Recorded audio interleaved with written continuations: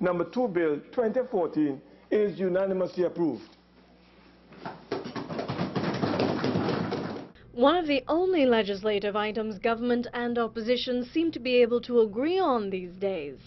All 36 members of the lower house present in the chamber voting in favor of a bill to strengthen money laundering and anti-terrorism laws. But not before opposition MP Colin Imbert could bust a mark, as he put it. He spoke of an illegally occupied parcel of state land in Vega de Oropouche, one that, according to a property ordinance he produced, was audaciously bequeathed to an alleged criminal whose name was at the center of the Life Sport scandal. In consideration of the natural love and affection which I have and bear towards Hassan Ali. You know that name?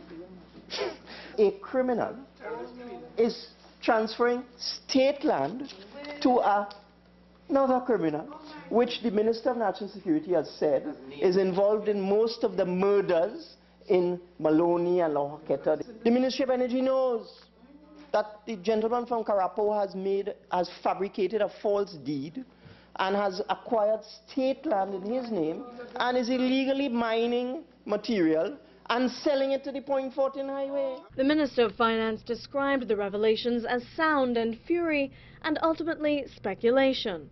Nonetheless, he insisted the authorities are trying to clamp down on illegal quarrying. We have something like 31 names here who are currently before the courts. We have to leave it to the courts. The executive has to leave it up to the courts in order to, to make some of the decisions. The opposition chided government for postponing the budget debate to pass this bill. Minister Howai said the haste was to get TNT compliant before a review by the Caribbean Financial Action Task Force in January.